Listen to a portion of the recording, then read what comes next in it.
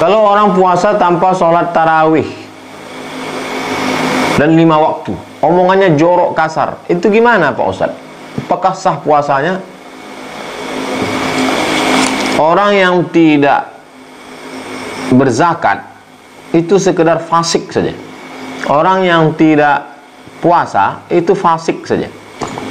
Tapi orang yang tidak sholat Baca buku 99 tanya jawab salat. Man taraka salata muta'ammidan. Siapa yang meninggalkan salat faqad kafara. Dia bisa kafir. Oleh sebab itu maka jangan tinggalkan salat. Sebagian ulama mengatakan meninggalkan salat itu fasik. Tidak sampai mengeluarkan dia daripada agama. Akan tetapi as-salatu imaduddin. Salat adalah tiang agama. Jadi bangunan ini akan hancur roboh kalau tiangnya tidak kuat. Oleh sebab itu jangan tinggalkan sholat. Sholat dan puasa. Bagaimana dengan ngomongnya kasar? Malam ada qaula zur. Siapa yang tidak meninggalkan kata-kata dusta, bohong, tipu. Wal amala bihi tidak meninggalkan perbuatan curang, tipu, muslihat. Falaisa lillahi hajatun fi ayyada at'amahu wa syarabahu. Perbuatan dia meninggalkan makan, meninggalkan minum, tidak makan, tidak minum itu tak ada pahalanya. Rubba sa'imin berapa banyak orang yang puasa laisa lahu min siyamihi tidak dapat apa-apa dari puasanya illal ju' hanya lapar saja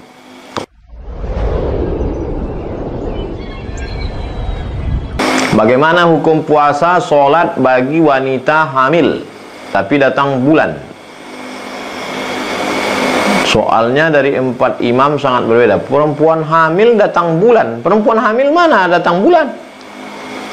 Perempuan hamil itu maka dia kalau tidak puasa Perempuan yang hamil kalau dia tidak puasa menurut mazhab syafi'i lihat dulu. Dia tidak puasa itu karena dirinya Karena lemah maka dia mengkodok saja. Nanti di luar Ramadan di syawal Zulqa'dah Zulhijjah dia ganti. Fa'iddatun min ayyamin Ganti di hari yang lain. Tapi kalau dia tidak puasa karena anaknya janinnya lemah, bayinya sakit, maka dia mengganti puasa plus tambah lagi bayar fidyah. Begitu menurut mazhab Syafi'i. Kalau ada ustaz lain yang ceramah mengatakan ganti saja, tak ada bayar fidyah, berarti dia pakai mazhab yang lain. Wallahu a'lam bishawab.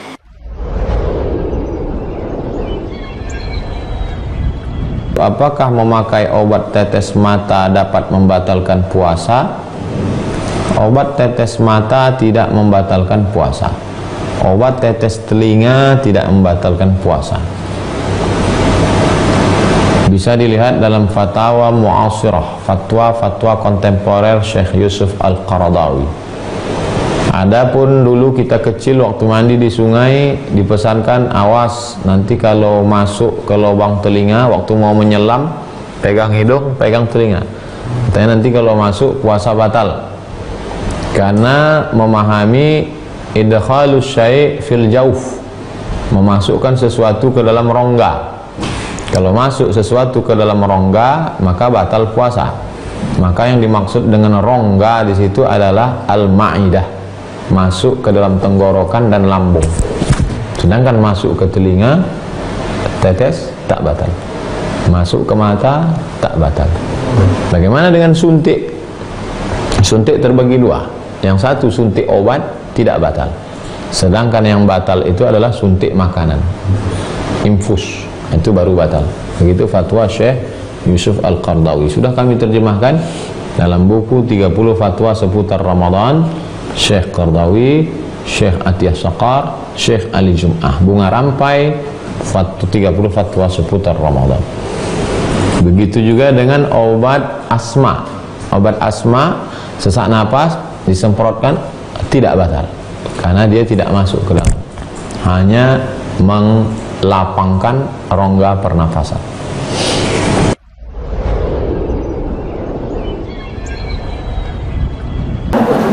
Tentang mandi besar bulan Ramadan uh, kadang mandinya kesiangan Orang yang waktu azan subuh dalam keadaan junub ada disebut dalam sahih Bukhari. Satu hadis satu bab tentang orang yang masuk azan subuh dalam keadaan junub. Maaf maaf maaf ibu-ibu maaf. Ada orang-orang tua mungkin tak sopan. De info masalah fikih yang mau jolehkan malam tu nyo junub lalu kemudian pas azan subuh tu nyo junub. Inya beniat nawaitu sawma ghadin an ada fardhi syahri ramadan hadis sanatillah taala. Puasanya sah. Hadisnya sahih. Tentang orang junub masuk azan subuh dalam keadaan junub. Puasanya sah. Nanda boleh itu sesudah azan subuh punya junub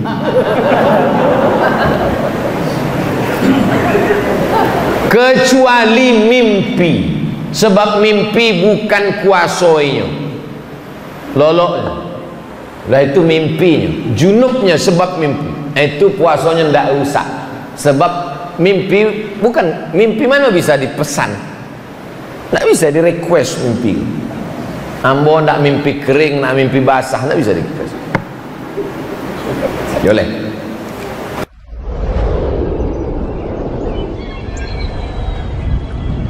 apa hukum mencicipi makanan bagi ibu-ibu yang memasak atau bagi laki-laki yang bekerja sebagai chef tukang masak restoran?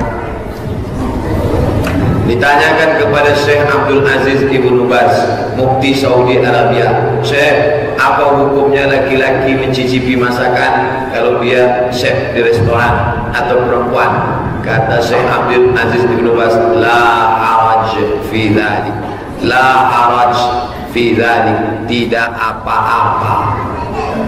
Tidak apa-apa kata dia. Dia ambilnya sih karena alat perasa itu di sini. Tidak masuk sampai ke dalam. Itu alasan dia. Tapi saya tidak pernah melakukannya dan keluarga saya saya larang. Istri saya mak saya. Gimana nih mak cicipin dah usah mak nanti kalau kurang garam kita tambah ikhtiar. Lebih baik berhati-hati. Tapi kalau ada ustaz nanti mengatakan boleh enggak apa-apa. Cicipilah sekali. 50 porsi. Banyak pula ke sini ke situ lagi. Oleh sebab itu yang menutup nutup lebih baik nanti. Kecuali misalnya dia bekerja di hotel masak banyak kalau sempat tak ada rasanya maka gajinya dipotong sementara di situ lagi hidup anaknya maka dia pakailah fatwa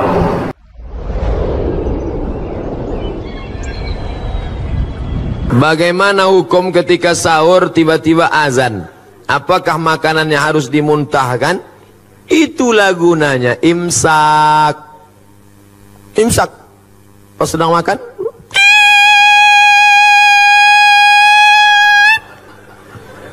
Di Maroko tak ada imsak. Rupanya imsak itu cuma ada mazhab syafi'i.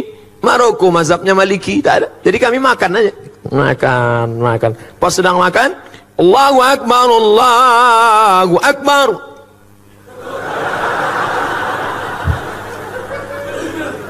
Tanya sama kawan. Cemana bro? Kata dia tenang. Masjid satu, masjid satu lagi belum.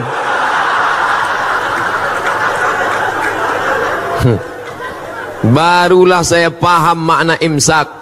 Imsak itu artinya lampu kuning 10 menit agak-agak 50 ayat sebelum azan subuh mulut sudah steril bersih. Tapi kalau suasana normal, kalau terbangunnya pas imsak karena lembur capek kerja tugas banyak, pas terbangun imsak. Apakah tak boleh makan? Boleh. Ambil nasi, gulai, sampodeh baung, sambal belacan, potai, ikan bilis, masukkan blender. Nah, dah tu ambil pipet dua.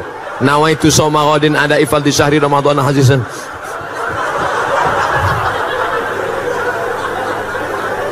Tapi kalau sudah azan, kalau sudah azan berkumandang, ada makanan dimuntahkan. Karena kalau sampai dia telan waktu azan, karena azan sudah masuk waktu terlarang. Kulu makanlah, washrabu minumlah hatta yatabayyana lakumul khaitul abyadu minal khaitil aswadi minal fajar sampai terbit fajar. Terbit fajar azan subuh. Kalau sudah azan subuh, tekunya muntahkan.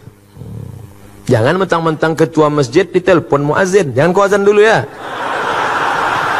Bagaimana pendapat Ustadz bagi lansia yang tak mampu puasa, tak mampu membayar fidyah? Puasa, tak sanggup puasa, level 2, ganti di hari yang lain. Tak sanggup mengganti di hari yang lain, bayar fidyah. Tak sanggup bayar fidyah, dia menerima fidyah. Itu hebatnya orang Islam. Tinggi, bisa turun, bisa ditawar. Datang seorang laki-laki mengadu ke rumah Nabi, "Ya Rasulullah, celaka aku celaka aku ya Rasulullah. Kenapa kau celaka? Maaf berhubungan aku dengan istriku di siang Ramadan. Puasa engkau dua, 60 hari kata Nabi. 60 hari kau puasa. Sedang 30 aku tak tahan. Kalau gitu kau kasih makan 60 pakir miskin. Aku tak ada ya Rasulullah tak sanggup. Pergi Nabi ke belakang diambil Nabi korma satu karung. Ni korma satu karung kasih ke pakir miskin di kampungmu sana. Pergi bawa. Ya Rasulullah aku yang paling miskin di kampung itu hatta badat nawajizuhu Nabi tertawa sampai nampak gigi gerahamnya jadi jangan kalian bayangkan Nabi itu serius. Neraka! Neraka!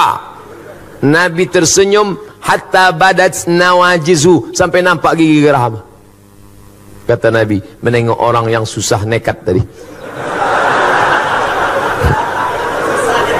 Jadi tak ada di kampung tu lebih susah dari engkau. Tak ada Rasulullah. Ambillah kurma ni, bawa kasih anak bini di rumah. Kata Nabi. Itu. Jadi bagi yang tak sanggup, dia menerima sedekah kita. Ustaz, kalau sedang puasa, kumur-kumur boleh apa enggak? Kumur-kumur boleh. Tapi katanya haram Ustaz kumur-kumur, nanti puasanya batal.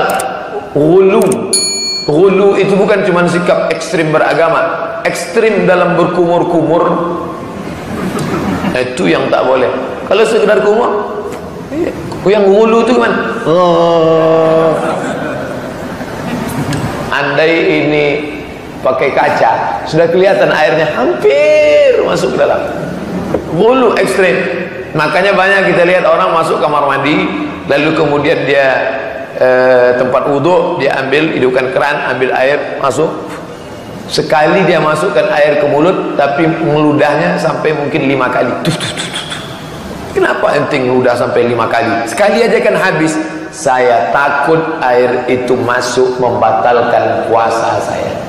Gosok gigi. Berapa banyak orang yang bertanya apakah boleh gosok gigi saat bulan Ramadan Ustaz? Boleh hanya saja sebagian ulama mengatakan setelah tergelincir matahari makruh. Jam 12, jam 1, jam 3, jam 4 itu makruh. Kenapa? karena saat itu dia dalam keadaan amat sangat haus kering. Banyak orang yang lesu, lemah, letoy, loyo. Setelah gosok gigi segar. Maka dia khawatir puasanya batal maka puasa membuat kita menjadi takut kepada Allah Subhanahu wa taala. Semua ibadah itu mengajarkan takut. Salat Allahu akbar, takut. Mana ada orang salat matanya jelalatan. Cantik juga masjidnya. Hebat. Baru kali ini lihat mimbarnya begini, pakai batu-batu Gak ada. Orang sholat disuruh melihat tempat sujud. Takut kepada Allah SWT. Gatal, benar-benar gatal. Paling berani dia menggaruk satu kali. Gatal juga nih Gatal juga berhenti cari kalpana. Kena penyakit kurap, penyakit kulit. Oleh sebab itu solat membuat orang merasa takut. Hanya saja limit waktunya sedikit. Dari mulai takbiratul ihram sampai salam. Karena solat adalah aqwalun ucapan, wa af'alun perbuatan. Mufattatahatun bitakbir dibuka dengan takbir, wa muhtatamatun bitaslim ditutup dengan salam. Lalu kemudian puasa mendidik generasi ini untuk takut yang frekuensi waktunya lebih panjang. Berapa? 13 jam setengah dari mulai jam 5 azan subuh atau setengah 5 sampai buka puasa terserah di mana. Di Sumatera jam 5 sampai 6.30 13 jam setengah. Di sini pun di Pulau Jawa lebih kurang begitu juga. Andai dia setengah lima nanti pukul enam 13 jam setengah selama 13 jam setengah itu takut melihat sembarangan. Puasa saya rusak. Takut berkata yang tidak benar. Puasa saya rusak. Idza qulta li sahibika ansit. Kalau kau katakan kepada saudaramu ketika khatib sedang naik khutbah Jumat tiba-tiba engkau katakan kepada teman di sebelahmu diam faqad laghauta engkau sudah melakukan perbuatan lara. Wa man lagha fala jum'atalah siapa yang melakukan perbuatan lara tiada jumat baginya. Bagi orang yang sedang solat jumat. Singkat pendek. Khutbah jumat paling lama 30 menit selesai. Tapi tetap dia takut ada yang lebih panjang. Apa itu Idza syatamahu ahadun. Engkau sedang puasa, tiba-tiba ada seseorang mengajak kamu kelahi, au qatalahu atau ngajak engkau berperang, mengajak engkau berkelahi, mengeluarkan kata-kata, falyaqul hendaklah engkau mengatakan inni shaim, inni shaim. Katakan dua kali, inni shaim, inni shaim. Bukan aku tidak sanggup melawan ente, saya bukannya nggak sanggup berantem, saya bukannya nggak sanggup ngebalas, tapi ini saim aku sedang puasa. Ini saim aku sedang puasa. Sekarang sedang puasa. Tunggu ntar habis buka kalau mau tahu.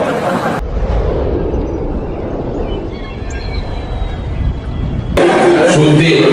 Nah, ini pasien banyak di atas suntik? Eh saya jangan disuntik mbak. Kenapa? Kata guru kami suntik membatalkan puasa suntik terbagi dua.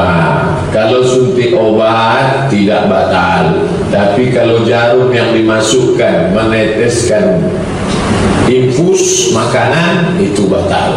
Karena infus itu makanan. Orang kalau sudah kena infus maka dia oh, itu yang batal. Karena itu makanan tak boleh. Nanti ditutupnya kantong pasang infus. Agak-agak segar keluar. Pakai sekali ada hal infus kalau obat boleh. Ini batal nggak boleh. Tidak batal. Ibu tahu apa ibu kan bukan ahli agama. Langsung buka. Nih 30 tanya jawab sudah bisa baca? Nggak bisa. Biar saya baca. Tidak batal.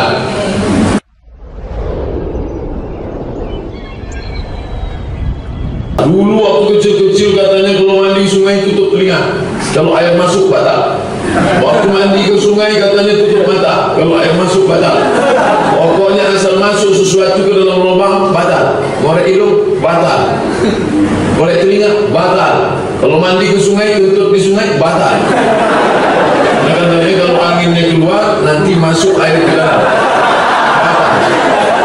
Ah ini datang dari mana ini cerita ini? Ini namanya idkhalu syai' ilal jawf memang ada dalam kitab fikih salah satu yang membatalkan puasa katanya idkhalu syai' ilal jawf memasukkan sesuatu ke rongga. Dia tidak paham maknanya dia baca saja. Memasukkan sesuatu ke rongga. Sesuatu kelingking ke rongga. Batal. Batal. Batal. Bukan itu maknanya. Masuk sesuatu ke rongga memasukkan yang membatalkan ke rongga tenggorokan sampai masuk ke dalam. Kalau tak masuk tidak apa-apa. Oleh sebab itu bantuan pernapasan bagi penyakit asma itu tak batal. Kata saya ini tak batal. Kenapa? kerana ini tak masuk ke dalam. Hanya sampai di atas. Susah napasnya. Ada tadi yang banyak-banyak. Itu iklan masuk masuk ah, tak batal. Bagi yang pakai itu tidak batal. Karena tak masuk ke dalam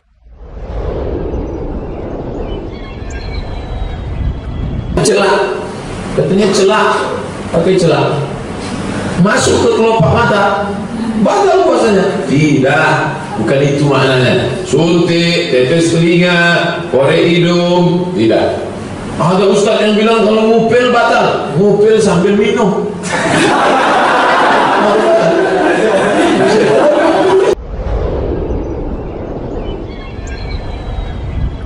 Valentino Rossi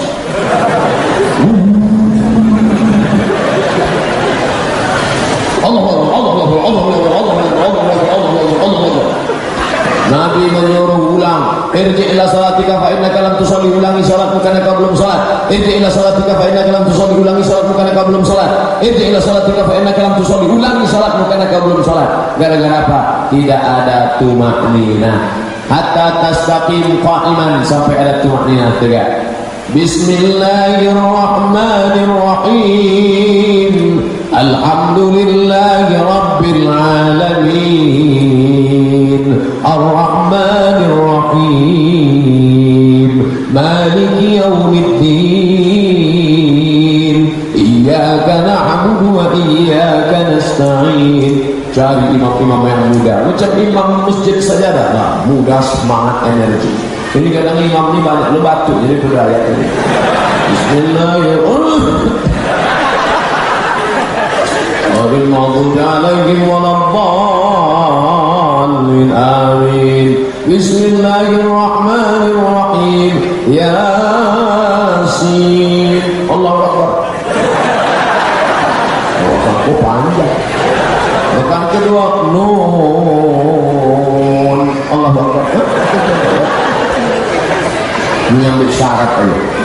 Nah, jadi Ramadan ini kita bahaskan tarawih. Bacaannya lebih panjang, lebih bagus. Ketika diundanglah imam tarawih di Masjid Raya Senapelan, Masjid Raya Senapelan kalau bisa adik-adik anak muda kalian agak satu malam sholat di sana sekali jadilah semalam aja merasakan bagaimana sholatnya bersama Ubay bin Ka'ab satu juz satu malam bisa tiap malam mantap Beberapa anak muda kirim SMS sama saya, mohon maaf Pak Ustaz, kami mohon izin nggak bisa ikut ceramah Ustaz ke mana-mana masjid. Kenapa? karena kami mau ikut tiap malam satu juz dan kami mau menghatamkan tegak mendengar bacaan Al-Quran di Masjid Raya Senapelan masjid yang dibangun oleh Sultan Kerajaan Siak Sri Indrapura Sultan Abdul Jalil tahun 1762 masjid tertua sholat oleh sana menangis imam baca. Ulama nadijas juluduhum badalna juludan ghayraha dia azab. Ketika kulit mereka ter mereka merasakan azab. Setuju semua imamnya dari Palestina. Imam pemain naturalisasi. Imam Palestina. Imam Palestina itu hafal Quran. Asal dipejamnya matanya nampaknya langsung Al-Baqarah, Al-Ma'idah, Al-Imran, Al-Nisa, Al-Muhammad kita pajak hmm, tak apa tak jadi kliknya Al-Baqarah muncul di kliknya Ali Imran muncul di kliknya An-Nisa muncul. Di Al-Maidah. Awak klik An-Nisa datang tulis klik Al-Baqarah datang sapi bikin Allah hafal Quran. Mudah-mudahan anak-anak awak hafal Quran. Kalau anak sudah hafal Quran ibu-ibu jangan lagi membuka aurat. Karena orang yang hafal Quran itu tak boleh. Tengok perempuan buka aurat. Asal terbuka aurat hilang dua Terbuka aurat hilang. Saya bawalah imam masjid raya dari rumah sakit Zainab mau balik. Rupanya dia mau beli roti untuk sarapan pagi.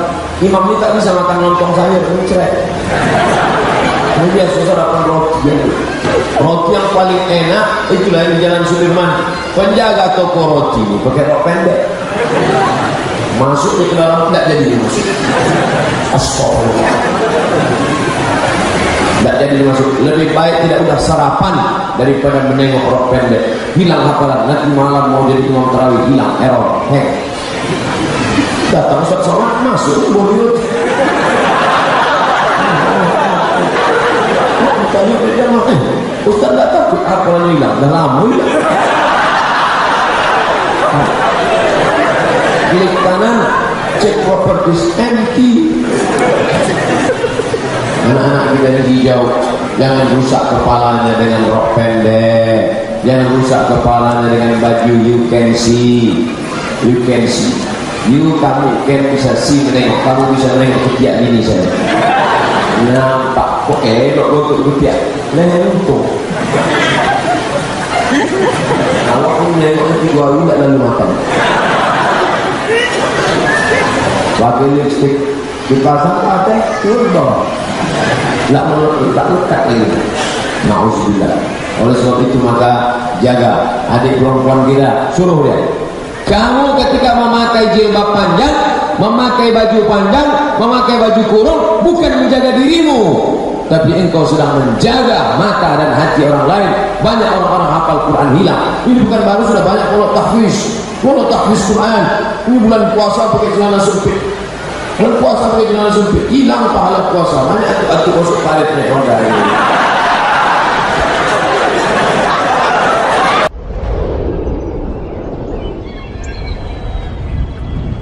Apa boleh tidur setelah sholat subuh? Sebab di negeri kami musim hujan ustad dingin. Sholat jam 5 setengah 6 sampai 7 masih gelap dan dingin. Lalu di rumah awak apalah salahnya? Misalnya lalu di rumah orang saya lah. Tapi nan saya elok-eloknya nan diajarkan Nabi selesai sholat subuh berzikir berdoa baca Quran sampai terbit matahari. Jam bara kini maghrib enam seperampe ah maka awak di masjid berzikir sampai jam enam seperampe mudah caranya Beko kalau maghribnya 6.30 ah, maka di masjid juga sampai jam 6.30 kalau maghribnya kini jam 6 seperampe maka di masjid subuh sampai jam 6 seperampe solat isyraq. Abi duduk di masjid berzikir baca Quran berdoa berzikir baca Quran berdoa. Tasbih seribu Alhamdulillah seribu Allah Akbar seribu istighfar seribu salawat seribu. Baca Quran baca Yasin. Ah, enam seperampe usalli sunnatal isyraq rakaat ini lillahi ta'ala baru pulang ke rumah. Itu yang paling rancak. Tapi kalau ada orang habis sholat subuh laloknya tidak ba'a cuma kecek beberapa dokter kalau terlalu sering tidur setelah subuh nanti terkena stroke ringan. Keceknya stroke ringan. Na'udzubillah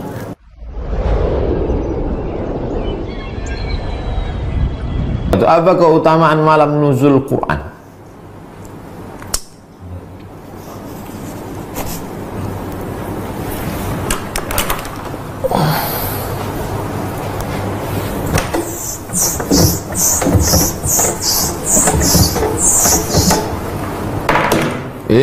anzalnahu fi laylatil qadr. Qadr. Satu. Fulanun lahu qadr. Si fulan itu punya qadar Artinya mulia. Kalau nampak kita raja Fulanun lahu qadrun. Itu orang mulia. Maka malam Lailatul Qadar artinya malam yang memiliki kemuliaan Dua. Yufraqu fihi kullu amrin hakim. Inna kulla syai'in khalaqnahu biqadar. Khalaqnahu biqadar. Qadar di sini artinya takdir. Maka pada malam itu ditetapkan takdir secara detail. Takdir secara umum sudah ditulis di Lauhul Mahfuz. Tapi secara detail per tahun malam Lailatul Qadar. Tiga.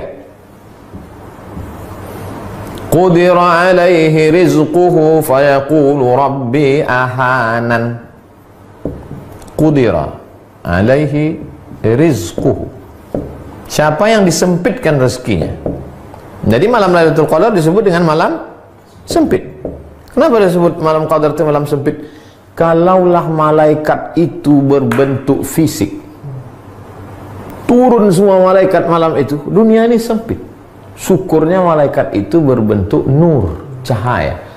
Sehingga kalau kita kumpulkan di ruangan ini cahaya yang 100 watt 500 watt dia tidak mengambil terang benderang. Itulah maka ketika pagi salamun hiya hatta matala'il fajr. Sampai terbit fajar. Fajar itu maksudnya azan subuh.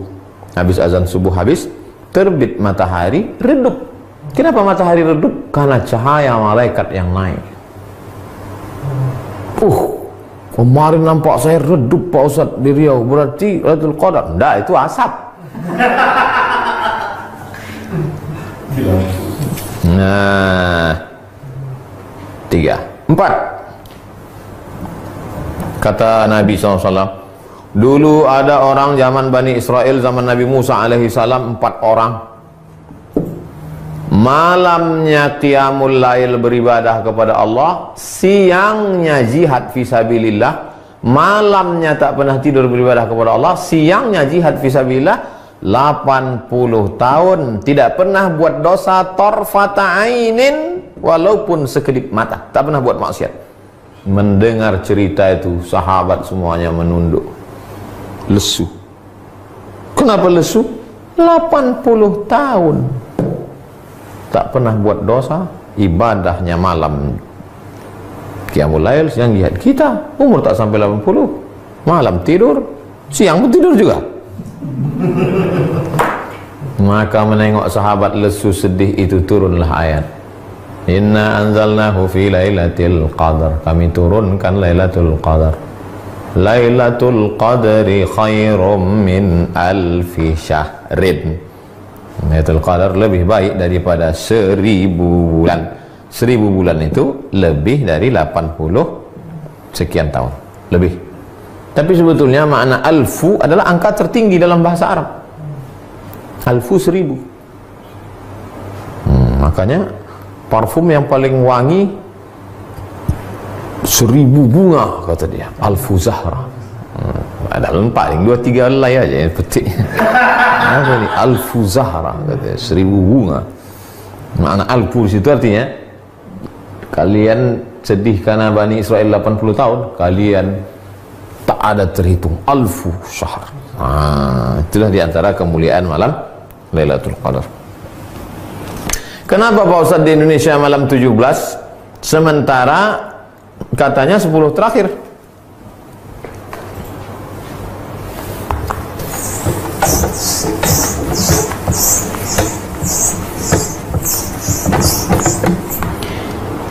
Inna anzalnahu fi lailatin mubarakah kami turunkan Al-Quran itu pada suatu malam yang penuh berkah. Dua. Inna anzalnahu fi laylatil qadr. Kami turunkan pada malam qadr. Satu malam itu berapa? Satu tahun itu berapa malam? 360 malam. Malam yang mana? diperkecil lagi. 360 malam diperkecil lagi. Syahrul Ramadhan alladhi unzila fihi al-Quran diperkecil menjadi 30 malam. Maka tereliminasilah 330 tinggal 30 dari yang 30 malam itu malam yang mana?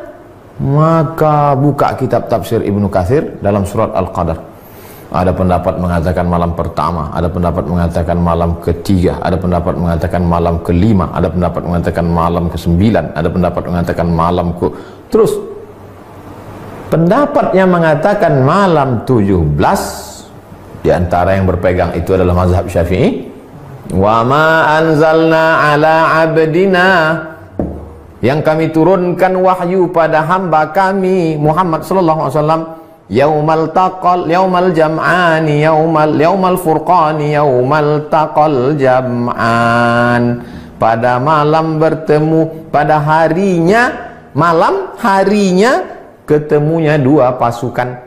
Kapan ketemunya dua pasukan itu? Tanggal 17 Ramadan. Itulah dalil dia turun tanggal 17 Ramadan.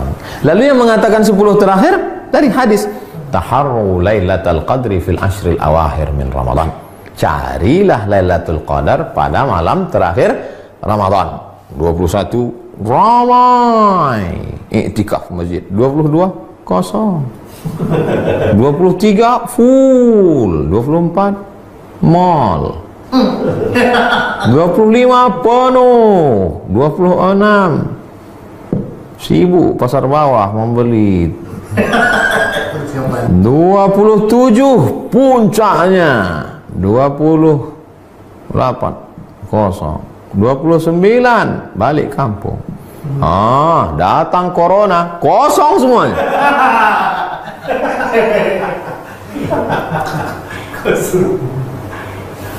lalu kemudian diperkecil lagi menjadi 10 berdasarkan kata Nabi. Karena Rasulullah SAW pada Nabi SAW pada malam 10 terakhir Ramadan aiqaza ahlahu dibangunkannya istrinya syadda mi'zarahu diikatnya eh, ikat tali ikat uh, sarungnya maksudnya dia balik lebih banyak beribadah iktikaf itulah dalil yang mengkhususkan 10 terakhir. Malam 27 hadis Nabi tapi ini semuanya adalah prediksi Buka tafsir Al-Kabir Imam Fakhruddin Ar-Razi, tafsir Ar-Razi, Mafatihul Ghaib, kunci-kunci ghaib pada ayat surat Al-Qadar. Di penutup itu dia sebutkan, Allah tidak sebutkan siapa yang dapat taubat nasuhah. Allah tidak sebutkan siapa yang dapat haji mabrur. Allah tak sebutkan siapa yang dapat solat wusta. Allah tak sebutkan siapa yang dapat Lailatul Qadar. Supaya apa? Supaya kita tetap senantiasa berharap. Berharap itu bahasa Arabnya ar-raja. Ar-raja adalah salah satu stasiun mendekatkan diri kepada Allah Subhanahu wa taala. Bayangkan kalau ditetapkan waktunya. Lailatul Qadar itu adalah malam 11. Maka malam 11 itu aja lah orang ramai. Malam lain kosong. Atau ada satu orang yang dapat ilham malam-malam. Kau sudah dapat Lailatul Qadar. Sampai mati tak ke masjid lagi. Pak Haji tak ke masjid. Ah, udah dapat Lailatul Qadar dah. Jadi apa rahasia di balik disembunyikan Lailatul Qadar supaya kita hidupkan malam dari malam 1 sampai malam 30. Malam ini malam yang ke 15 malam Jumat. Belum ada meteor meletup lagi. Isi aja malam 16, besok malam 16, malam 17, malam 18 sampai ke malam 30. Mudah-mudahan kita termasuk yang mendapat Lailatul Qadar. Setelah mengalami Lailatul Qadar itu memangnya apa? Apakah setelah dapat Lailatul Qadar jadi orang tukang cerita di warung kopi, tukang update status sudah Qadar atau makin takut pada Allah? Atau makin ingat mati? Atau makin khusyuk ibadah? Coba renungkan. Suatu malam Pak Ustaz, tiba-tiba saya terbangun jam 2. Di samping tempat tidur saya itu ada ceret mau saya tuangkan air gak keluar Pak Ustaz rupanya malam Lailatul Qadar membeku air malam itu. Gak keluar Pak Ustaz. Beku. Situlah saya dapat Lailatul Qadar. Tak berapa lama meng WA istrinya. Jam satu tuh kuletak aku membersihkan kulkas. Kuletakkan es batu dalam ceret abang tu. Nah beku lah ya orang ni banyak mengada-ngada aja mengaku berjumpa Nabi Khaidir. Mengaku itu ini. Itu sebetulnya dibalik itu semua untuk merenung dalam hati apakah kau makin khusyuk? Kau makin takut? Kau makin warak? Kau makin zuhud? Atau kau jadi tukang cerita ke mana kemari udah cerita perhatikan baik-baik. Perhatikan baik-baik. Kita udah 42 stasiun ini tanggung-tanggung ini. Ustadz saya ada kebiasaan setiap berangkat dan pulang kerja selalu mencium istri saya. Apakah boleh hal seperti itu dilakukan saat Ramadan? Orang yang mengatakan boleh mencium istri dalilnya adalah hadis riwayat Aisyah wa kana Rasulullah SAW qabbala Nabi mencium Aisyah bulan puasa. Ulama yang mengatakan tidak, dia hak Nabi boleh karena Nabi bisa mengontrol hawa nafsunya. Kau tak terkontrol, takut dia lepas. Apalagi akad nikahnya baru kemarin satu Ramadan. Hmm, berapa banyak?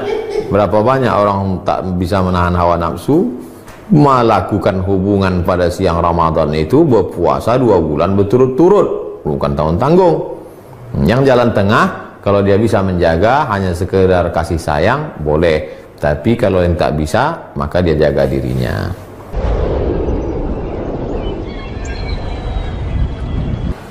Ustaz di tempat saya solat witirnya tiga rakaat dua salam. Tapi kemarin saya mendengar dari salah satu Ustaz tarawih tiga rakaat itu satu kali salam. Mohon penjelasannya Pak Ustaz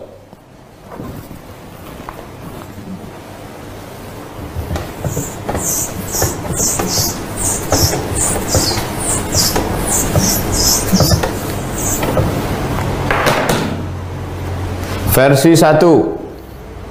Tiga rakaat Satu salam. Tidak pakai tasahud Supaya beda dia dengan maghrib. Versi dua. Dua rakaat Satu salam. Tambah satu rakaat satu salam. Sama dengan tiga rakaat dua salam mana yang afdal menurut mazhab syafi'i? Ini afdal. Kenapa lebih afdal ini? Iftitahnya dua kali. Kenapa lebih afdal ini? Iftitahnya dua kali. Tasyahudnya dua kali. Salamnya dua kali. Al jaza ala qadril amal. Balasan lebih banyak sesuai dengan banyaknya amal oh yang dilihatkan ikhlasnya. Mana orang tahu ikhlas kau? Yang orang tahu kan amalmu. Ikhlas bukan urusan. Ikhlas malaikat tidak tahu. Ikhlas itu sirrun bainaka wa Allah antara engkau dan Allah saja. Ini afdal. Kalau witir itu ganjil Pak Ustaz. Ini jelas ganjil. Ini kan yang satu ini ganjil ya. Yang duanya apa namanya? Syafa' wal fajr walayalin ash wasyaf'i wal watr watr witr lugatani basri bisri busri tarmizi tirmizi witri watri. Water air lain syafa' ini artinya genap. Witir ini artinya ganjil tapi dia masih sepaket. Jadi usollinya gimana?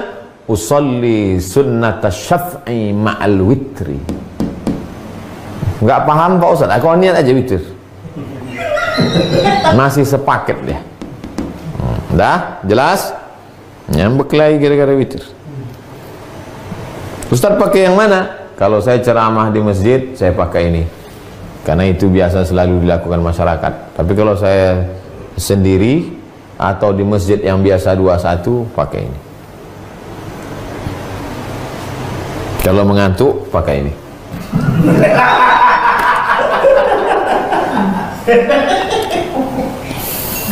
jelas Pak Bu Samsiar Ustadz ada salah satu ustadz mengatakan bahwa ada pendapat ulama mengatakan onani tidak membatalkan puasa. Mohon menjelaskannya. Jadi videonya itu dipotong. Dia sedang menjelaskan hukum puasa panjang lebar. Lalu disebutkannya beberapa pendapat ulama. Menurut pendapat Imam Ash-Shawqani, menurut pendapat Imam Fulan, menurut pendapat Imam Fulan onani itu hukumnya berdosa tapi tidak membatalkan puasa. Tuh dipotong. Nah itulah bahayanya. Jangan tonton sepotong-potong tonton video ini sampai tuntas. Kan selalu dibuat gitu jelas Ibu Samsiar jadi Ibu Samsiar cari video lengkapnya. Sebetulnya itu pembahasannya adalah lengkap tentang puasa. Tapi kemudian dipotong pas pernyataan onani dosa tapi tak batal puasa. Menurut pendapat ulama.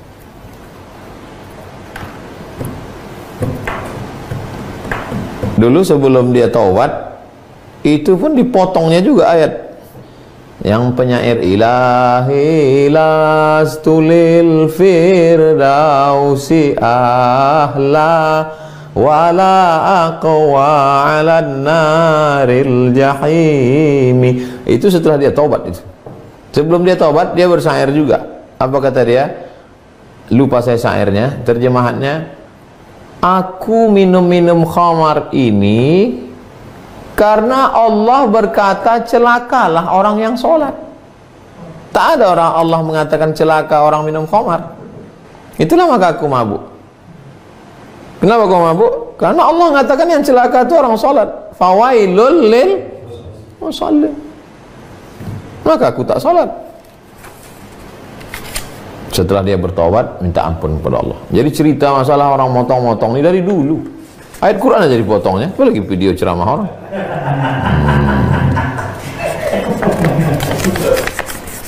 Kita berbeda pendapat itu biasa.